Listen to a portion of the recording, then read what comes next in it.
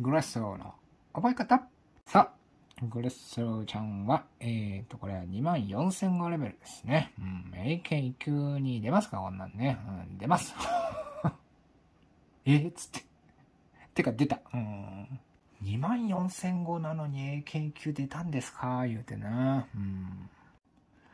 実は出てるんですね。2010年の第1回にね。うん、まあね、研究がお前ら知らんやろ、つってな、うん、遊び半分に出した単語でしょうけれどもね。うん、そんな単語も私は覚え方を作ってるよって言いたくてね。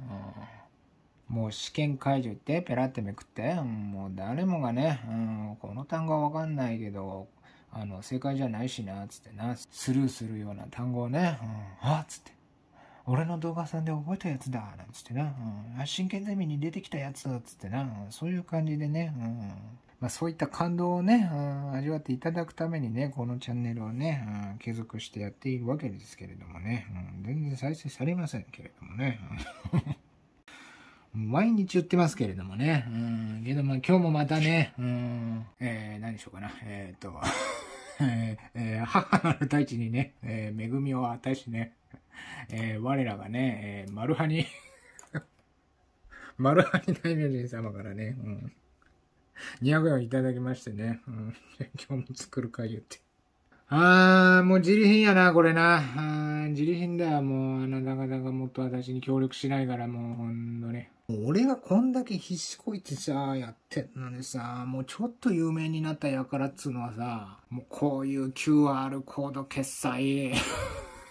古事記みたいのするからな、これ。なんで？っつって。うん。これ知ってる？これ。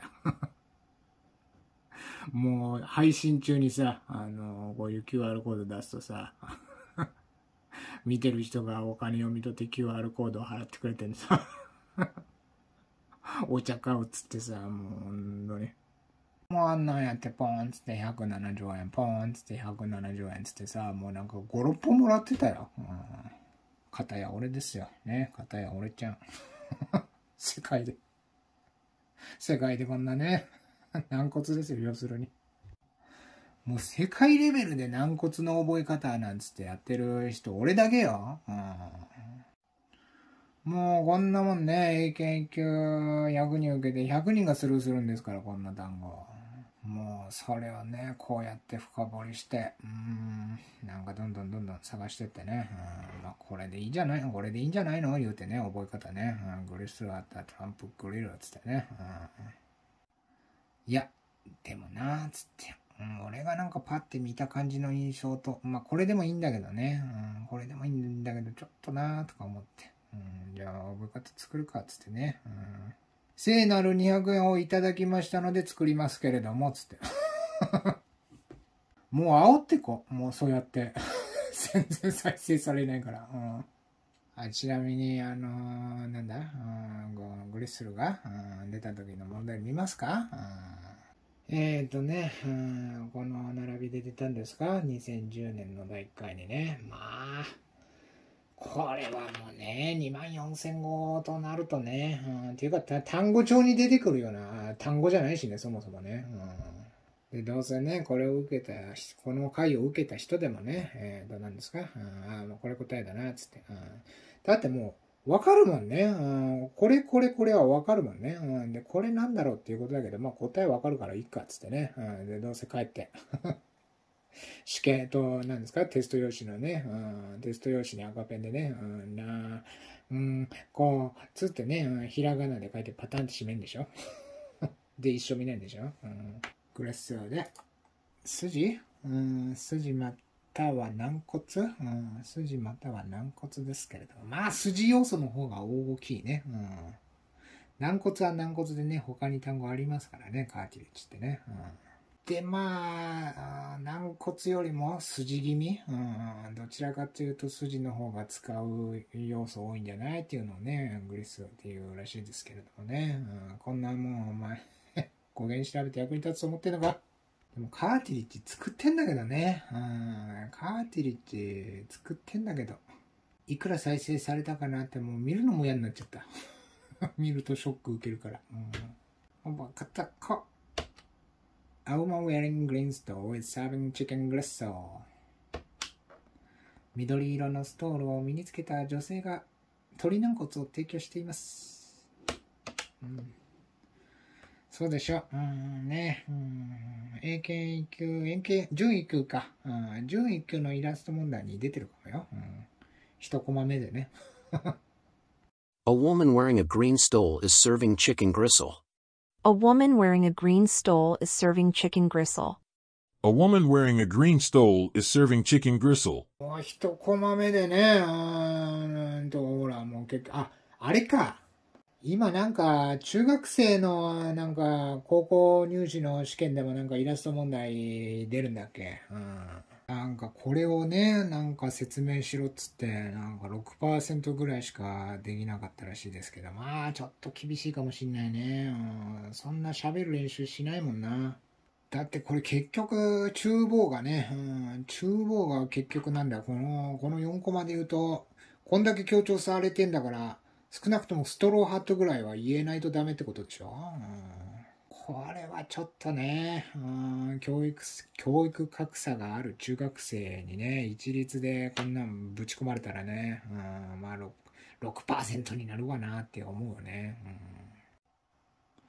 うん、もうじゃあこれ作ったやつにね、うんこれ作ったやつに、もう一コマ目でこれ説明してください言ってね。うんそれ、それぐらいの難易度だよな。うんこれを作らした何？うん中学英語教師にね。うんじゃあこれを説明してくださいっつって。えー、っと、つって。うん、たまあ、グリーンストールだよな、つって。うん、で、ウーマンだな、つって。ああ、つって、ああ、軟骨だけど、つって。鳥軟骨だけど、言うてな。うん、頭真っ白になるよな。鳥軟骨英語で言え、つって。いや、簡単な英語に直して、うんあの、言えばいいんですよ、つってもな。これパーッと見て。クリストあー簡単な英語、簡単な英語。あー The part of me that is not soft enough to eat とかな。言えねえよな、それな。もうよっぽど練習しない限り。それともソフトボーンとか言うソフトボーン。ソフトボーンって言うっていう思わないなんか。ちゃんとググってソフトボーンって言ってるか確かめないとダメじゃないそれ。けどまあ、英検1級でグリスをあの出題した作者っていうのはやっぱりこういうなんか、試験通黒って言われた日にこういうなんかレストランとか行ったのがね、うん、ちょちょっと高めの、うん、高めのレストラン行って、うん、何食べようかな言うてね、うん、ビーフグリストルって書いて。え？ビーフグリストル？ビーフグリストルのグリストルってなんだっつってスマホで調べたんだろうな、どうせな。作者もな。あ、牛すじなんだ、つってな。うんじゃあ、英検1級出そう、つってね。うんけどまあ、スープに1200円出せる？うんやだよ。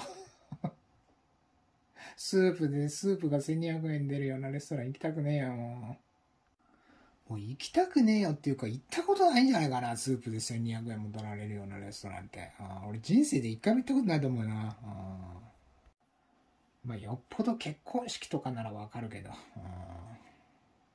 どういうタイミングで行くのかね、スープで1200円取るようなレストランってね。